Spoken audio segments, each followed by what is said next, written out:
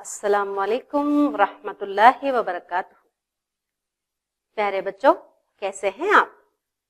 मैं उम्मीद करती हूँ कि अल्लाह ताला के फजल करम से आप खैरियत और आफियत से होंगे। चलिए इसी के साथ हम शुरू करते हैं आज की इस ई क्लास को। आज हम मुताला करने जा रहे हैं इल्म साइंस का जमात नहम के बाब नंबर छ का तीसरा हिस्सा। तो चलिए शुरू करते हैं चंद सवालात से, जो हमने पिछली जमात में मुताला कर चुके हैं, उसके ऊपर, उस पर मुबनी हैं। चलिए पहला सवाल, पत्ते के एपिडर्मिस में छोटे छोटे सुराख होते हैं, इनको क्या कहते हैं? सोचिए बच्चों दिमाग पर ज़ोर डालिए अपने। हाँ बिल्कुल सही। स्टोमेटा या उर्दू में इसे दहन भी कहते हैं। दूसरा सवाल, पेचीदा मुस्तकल बाफ्त के नाम बताइए। बिल्कुल सही।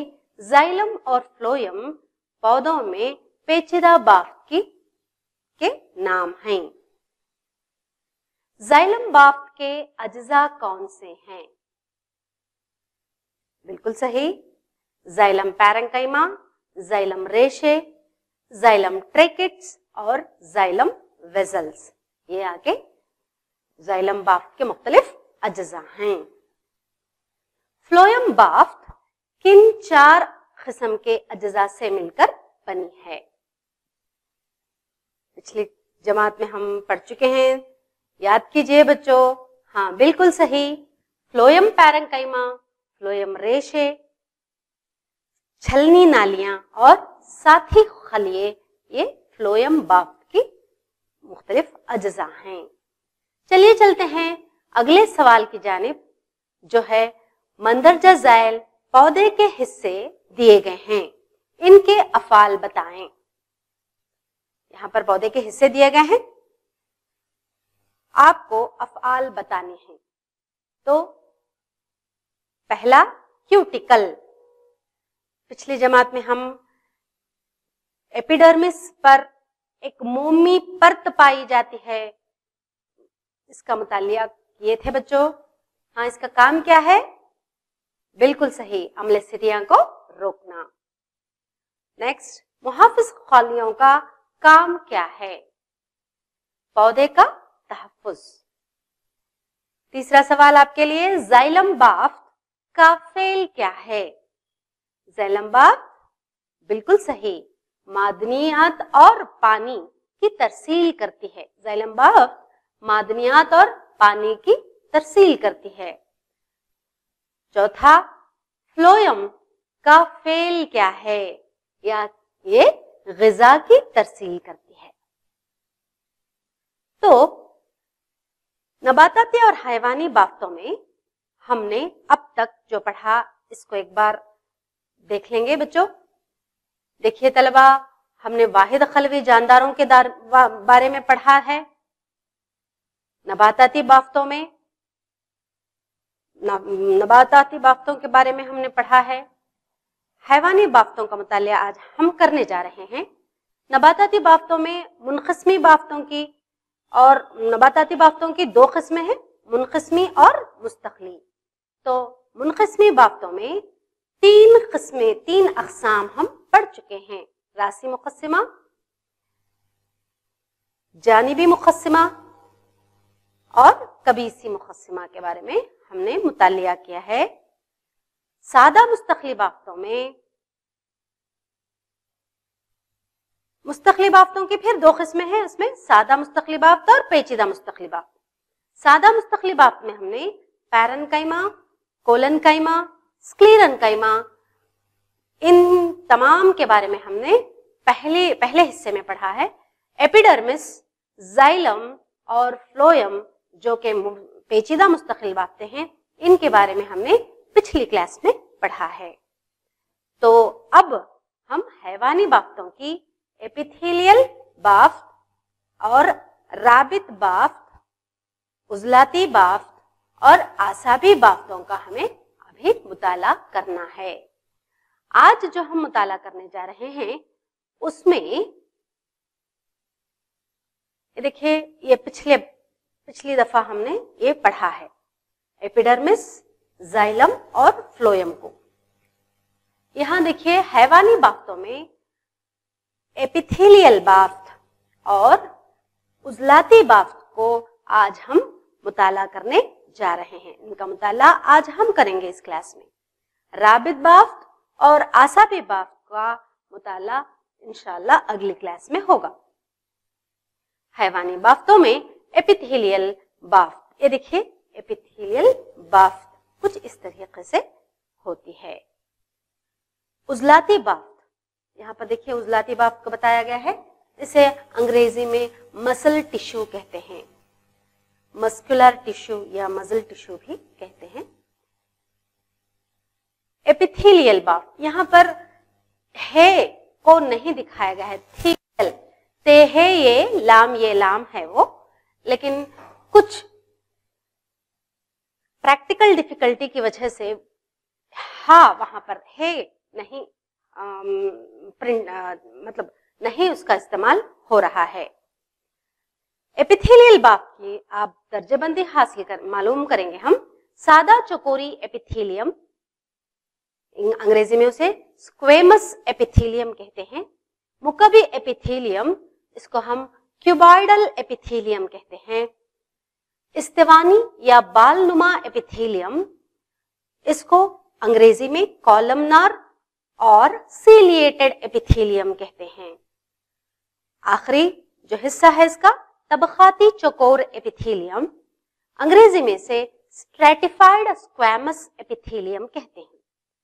मैं और एक बार रिपीट कर रही हूँ, यहाँ पर हा है, जो चश्मे वाला है होता है, यहाँ पर उसका इस्तेमाल नहीं किया गया है, कुछ प्रैक्टिकल डिफिकल्टी की वजह से। आपको बाकायदा ते है ये, लाम ये लाम लिखना है। क्लियर बच्चों? चलिए। एपिथेलियल बाफ्त के बारे में मालूम हासिल करेंगे अब। ये हैवानी जिस्म की हिफाजती या गिलाफी बाफ्त होती है। या के प्रोटेक्टिव लेयर होती है।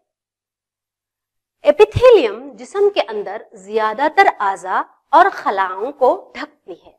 ढकने का काम करती है। एपिथेलियल बाफ्त देखिए यहाँ पर एपिथेलियल बाफ्त के बाफ्त को जूम करके दिखाया गया है।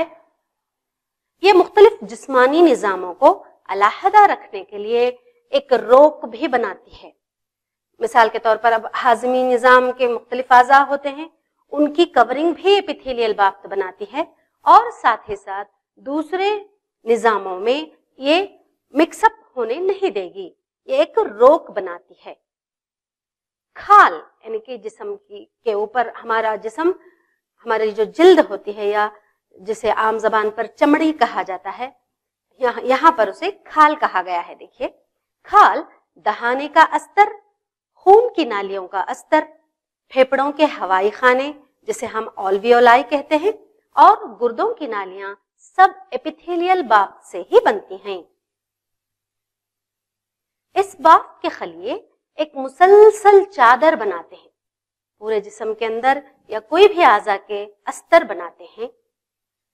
इन खलियों के दरमियान बहुत कम जोड़ने वाला मादा और ना के बराबर बैन खलियाती खला या फासला होता है। यानी कि खलियों के दरमियान कोई खास जगह नहीं होती, ये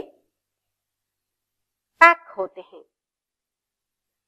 कोई भी शय जो जिसम में दाखिल हो रही है या जिसम से बाहर आ रहे है। इसको एपिथेलियम की कम अज कम एक सतह, एक परत से तो गुजरना ही होता है।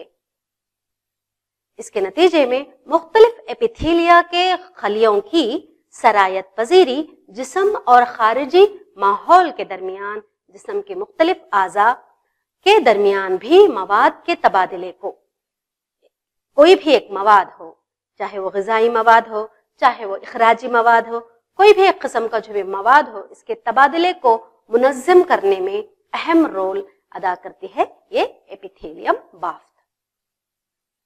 तमाम किस्म के एपिथेलिया जेरी बाफ्तों से फाजिल खलियाती रेशों की बुनियादी झिल्ली के ज़रिए अलाहिदा होते हैं। मुख्तलिफ़ एपिथीलिया मुख्तलिफ़ बनावटों को ज़ाहिर करते हैं, जो इनके मखसूस अमल के ऐन मुताबिक होते हैं। जिन, जैसी इनकी साख्त होगी, उसी तरीके का इनका फेल होता है। मिसाल के तौर पर, खून की नालियाँ या फेफड़ों के हवाई थैलियों के अस्तर के खलिए, जहाँ मादे का नकल हमल एक इंतखाबी सरायत पजीर सतह से होता है, वहाँ सादे, चपटे किस्म के खलिए होते हैं, इन्हें सादा चकोरी एपिथेलियम कहते हैं। अंग्रेज़ी में इसे स्क्वेमस एपिथेलियम ये बहुत सी सादा, हर एक अजू का अस्तर बनाने में लाइनिंग कहते हैं। आप जब भी खासकर लड़कियाँ हैं, लड़कियों के बारे में अगर से देखें तो अपने ड्रेस को वो अपनी लाइनिंग डालते हैं, उसी तरीके से। हर एक अजू पर भी लाइनिंग होती है इस सादा चकोरी एपिथेलियम की। समझ में आया आपको? चलिए, आगे बढ़ते हैं। सादा चकोरी एपिथेलियम को जूम करके यहाँ पर बताया गया है देखिए। तो सादा चकोरी एपिथेलियम देखिए यहाँ पर और ज़्यादा बड़ा करके बताया गया है सादा एपि सादा चकोरी एपिथेलियम को। आइए अग, अब आगे बढ़ते हैं। मुकबी एपिथेलियम या क्यूबॉइडल एपिथेलियम की जानिब। ये देखिए क्यूबॉइडल एपिथेलियम को यहाँ पर बताया गया है। इस्तेवानी एपिथेलियम की साख्त कुछ इस तरह, इस तरीके से दिखाई देती है। इस्तेवानी एपिथेलियम में अगर बाल नुमा साख्ते नज़र आती हैं तो उसे सीलिएटेड एपिथेलियम या बाल नुमा एपिथेलियम कहते हैं। तबखाती चकोर एपिथेलियम। ये एपिथेलियम की आखिरी किस्म है या चौथी किस्म है? इसमें देखिए स्ट्रेटिफाइड स्क्वैमस एपिथेलियम को यहाँ पर जूम करके बताया गया है।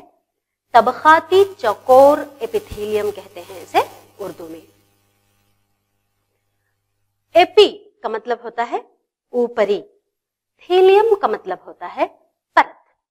तो यहाँ पर इंसानी हाजमी निज़ाम का मैदा दिखाया गया है, इसके मुख्तलिफ़ परतें बताई गई हैं, देखिए यहाँ पर। तो मैदे की ऊपरी परत को यहाँ पर दिखाया गया है। ये मैदे पर पाए जाने वाली एपिथेलियम बाफ्त होती है। सादा चौकोरी एपिथेलियम को और ज़्यादा जूम करके बताया गया है, देखिए यहाँ पर। बुनियादी परत पाई जाती है यहाँ बुनियादी परत यानी कि बेसमेंट मेम्ब्रेन पाई जाती है और यहाँ पर मरकजे को भी दिखाया गया है। सादा चकोरी एपिथेलियम खलिए निहायत पतले बहुत महीन पतले और चपटे होते हैं और एक ना, निहायत नाजुक अस्तर बनाते हैं। अस्तर आप समझे ना?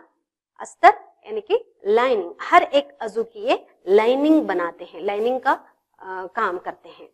नरखरा, जो हमारे हलक में एक हिस्सा पाया जाता है, जिसे हम नरखरा कहते हैं, नरखरा और दहन का अस्तर भी चौकोरी एपिथेलियम से ढका होता है। खाल, जो जिसम की हिफाजत करती है, वो भी चौकोरी एपिथेलियम से बनी होती है। खाल के एपिथेलियल खलिए मुतद तहों में मुनजिम होते हैं, ताकि टूट फूट को या तोड़ फोड़ को रोक सकें, चूँकि ये तहों में मुनजिम होते हैं। लिहाजा इनको तबखी चौकोरी एपिथेलियम कहते हैं। हमारी खाल या हमारी जिल तबखाती चौकोरी एपिथेलियम से बनी है। तबखाती चौकोर एपिथेलियम को यहाँ पर दिखाया गया है। देखिए, ये हमारी जिल्द है। ये हमारी जिल्द को बताया जा रहा है यहाँ पर। देखिए बाल नुमा रोए जल्द पर महीन से बाल होते हैं। वो बाल यहाँ पर जूम करके दिखाया गया है। देखिए बाल नुमा रोए,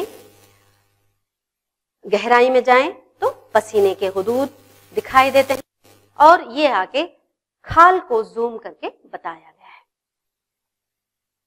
जिल्द के यहाँ पर मुख्तलिफ़ मराहल बताए गए हैं। देखिए, मुख्तलिफ़ अफाल जिल्द अंजाम देती है। क्या क्या अफाल अंजाम देती है देखें। जिसम की हिफाजत करती है। जिल्द जिसम से जायद पानी को जाया होने से रोकती है और दर्ज हरारत के तवाजन को भी बरकरार रखती है। नाकारा अशिया का इखराज करती है। जिसम से नाकारा अशिया का इखराज करना भी जिल्द का एक काम है। छोटी आंत के अस्तर जहाँ रुतूबत, जज्ब और खारिज होती है, वहाँ लंबे एपिथेलियल खलिए मौजूद होते हैं। लंबे एपिथेलियल यानी कि इस्तेवानी एपिथेलियल खलिए मौजूद होते हैं। ये इस्तेवानी या सुतून की तरह, इस्तेवाना कहते हैं, इस्तेवान कहते हैं, सुतून, इस्तेवाना या सुतून से माखज है ये लफ्ज। तो सुतून यानी कि एक पिलर लाइक पिलर जैसे दिखाई देते हैं, सुतून। अब जब भी हम घर वगैरह तामीर करते हैं तो पहले क्या करते हैं? पिलर्स बनाते हैं। तो सुतून पिलर को कहते हैं। सुतून की तरह एपिथेलियल रुकावटों के पार हरकत में मददगार होते हैं। तनफुसी रास्ते में इस्तवानी एपिथेलियल बाफ्तों में रुए भी होते हैं, जो एपिथेलियल खलियों की बाहरी सतह पर बाल नुभा उभार होते हैं।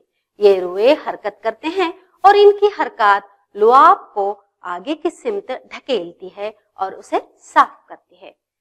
हमारे तनफुसी रास्ते में क्या है?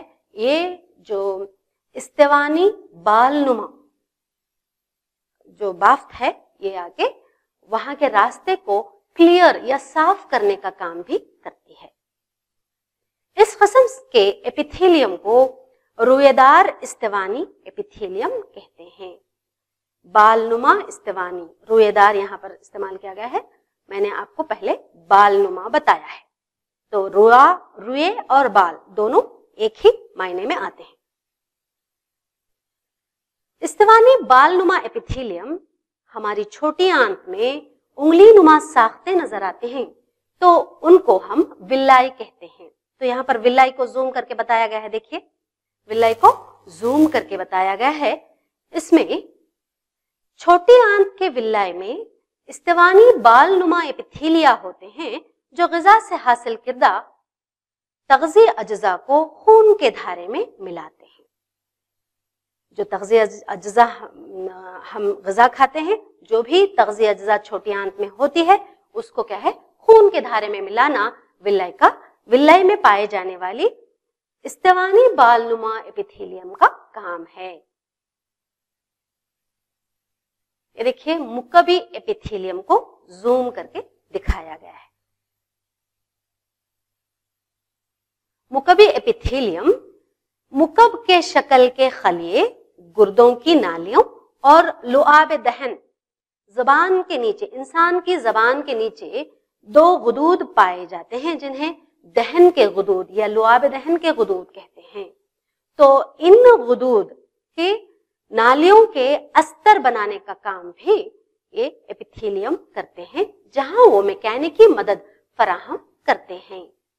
एपिथेलियम खलिए इजाफी खसूसियात इख्तियार कर लेते हैं, जिसे जैसे कि गुदूदी खलिए जो एपिथेलियल सतह पर रुतूबत खारिज करते हैं। कभी कभी एपिथेलियल बाफ्तें अंदर की सिमत तह हो जाती हैं और एक कसीर खलियाती गदूद बन जाता है, जिसे गदूदी एपिथेलियम कहते हैं। मुकबी एपिथेलियम, यहाँ पर देखिए, मुकबी एपिथेलियम आगे चलकर क्या बन रहा है? गदूदी या गदूदी एपिथेलियम बन रहा है। यहाँ पर देखिए, सेलेवरी यानी कि लुआब दहन के गदूद बताए जा रहे हैं यहाँ पर। जूम करके दिखाया गया है, देखिए। गुदूदी एपिथेलियम, ये देखिए हमारा लबलबा, इंसानी लबलबे में भी गुदूदी एपिथेलियम पाया जाता है।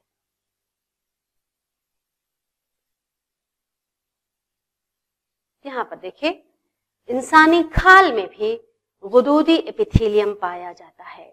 यहाँ पे पसीने के वदूद पाए जाते हैं। इस वजह से मुकबी एपिथेलियम क्या होती है? गुदूदी एपिथेलियम में तब्दील हो जाती है। यहाँ पर देखिए, ये क्या दिखाया गया है आपको? यहाँ पर देखिए, ये गुर्दों को बताया गया है। गुर्दे की साख्ती इकाई क्या है बच्चों? बिल्कुल सही, ये नेफ्रॉन्स हैं। कई हज़ारों नेफ्रॉन्स से मिलकर गुदूदी एपिथेलियम बनता है। लुआब दहन के गदूद से लुआब का इफराज, यहाँ पर देखिए, लुआब दहन के गदूद दिखाए गए हैं, उसमें से लुआब का इफराज होता यहाँ पर नज़र आ रहा है।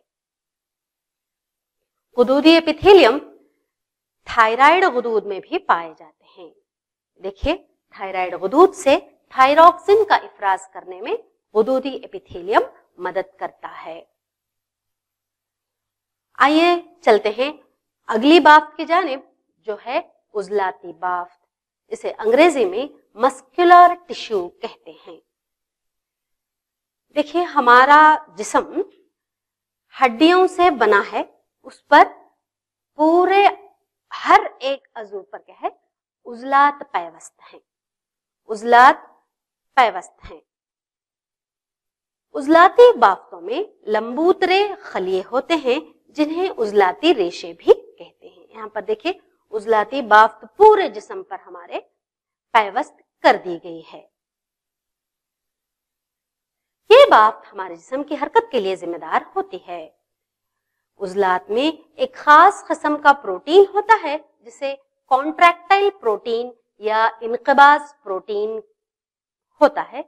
वो पाया जाता है ताकि हमारे जिस्म के हरकत को मदद दी जा सके, हरकत को अमल में लाया जा सके, जो सुकड़ने और फैलने में मदद देता है। मिसाल के तौर पर जब हम अपने आप को हरकत देते हैं, अगरचे सिर्फ़ इस्तफानी ढांचा रहा तो क्या हम अपने आप को हरकत दे सकेंगे? ऐसे ही स्ट्रेट ठहरना पड़ेगा हमें। जिस हालत में इस्तफानी ढांचा या हड्डियों का ढांचा है, उसी तरीके से हमें रुकना पड़ेगा। इसके ऊपर उजलात पैवस्त हैं और इसमें मुख्तलिफ़ किस्म के कॉन्ट्रैक्टाइल प्रोटीन पाया जाता है, जिसकी वजह से क्या है, हम हमारे उजलात, हमारे जिसम को झुक, झुका सकते हैं, मोड़ सकते हैं और सुकड़ाव का अमल कर सकते हैं और फैल सकते हैं। हम कुछ उजलात को अपनी ख्वाहिश के मुताबिक हरकत दे सकते हैं। यहाँ पर देखिए, यहाँ पर झुकना, झुकने का अमल बताया गया है। ये हमारे उजलाती बाफ की बदौलत हम झुक और उठ सकते हैं। यहाँ पर देखिए, यहाँ पर ऐसे हम झुक सकते हैं और सीधे से ठहर सकते हैं।